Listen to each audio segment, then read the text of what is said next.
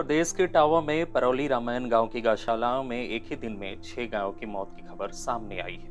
ये मौत भूख के कारण हुई। इनके अलावा आए दिन गौशालाओं से गायों की मरने की खबर सामने आती है। हालात इतनी खराब है कि इनकी सवे कौवे नोच कर खाते हैं। दरअसल इटावा जनपद में 106 छोटी बड़ी गौशालाएँ हैं। इनमें लगभग 12,400 गाय मौजूद है।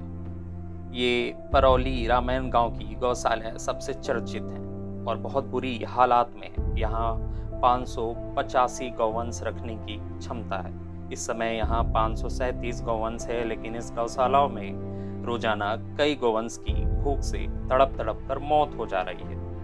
मंगलवार 24 मई को छह गौवंश की भूख से मौत हो गई। गौवंश के मरने के बाद उनकी दुर्गति इस तरह होती है कि जानवर और पक्षी उनके अंगों को नोच नोच कर खाते हैं। ये कारण घोटालाबाजी बताई जा रही है।